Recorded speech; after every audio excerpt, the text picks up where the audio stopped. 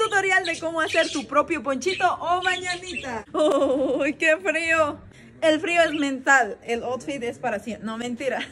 Tutorial de cómo hacer tu propio ponchito o mañanita. Primero necesitamos una oveja. Le trasquilamos la lana. mentira. Aquí ya está nuestra Wilma. Bueno, aquí se le dice lana. Echará ya tenemos nuestra Wilma o lana de oveja o de borrego. No es del Firulais, no se preocupen. Sigue vivo. Y también tenemos el color oscuro. Peinamos. No, no, no. Peinamos la lana. Ah, perdón. Ponemos así. No sé si lo estoy haciendo bien.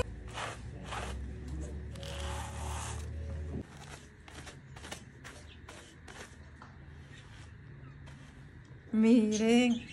Así queda. Y ya tenemos nuestra Wilma peinada. Separamos. Y aquí no lo vamos a hacer con pushka, lo vamos a hacer con la rueca. Miren nomás. Hilamos la Wilma. No lo estamos haciendo nosotros, lo está haciendo nuestro amigo Antonio. Y queda así. Ahora sí, el siguiente paso, vamos a teñirlo. Necesitamos pintura, pero esta pintura. Teñimos con piedra o roca índigo. Aquí tiñen naturalmente. Trituramos. Después de moler nos va quedando así. Todo se tiñe naturalmente. Miren, hasta tiñen con flor de cempasúchil. Y así queda. Ahora sí teñimos todo. Tenemos todos estos colores con tinte natural. Y aquí nos están enseñando cómo podemos sacar más colores solamente con limón y con cal. Miren nomás, de este va a salir un color lila. ¡Wow! Ahora sí, vámonos al taller de pedal. Este es un telar 100% artesanal.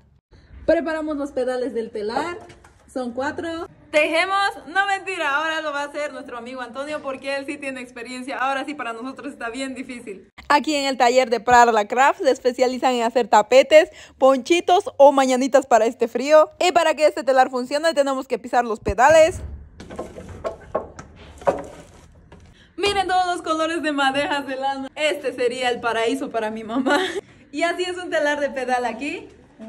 Sí, acá en Teotitlán todos nos ayudamos, hombres, mujeres, niños, niñas, jóvenes, adultos, tercera edad, todo se vale. Después de todo ese proceso, miren, este es el resultado. Se llama mañanitas porque en las mañanitas hace frío. Y ahora sí, el frío ya no va a ser un problema. Ya tenemos nuestras mañanitas, nos ponemos.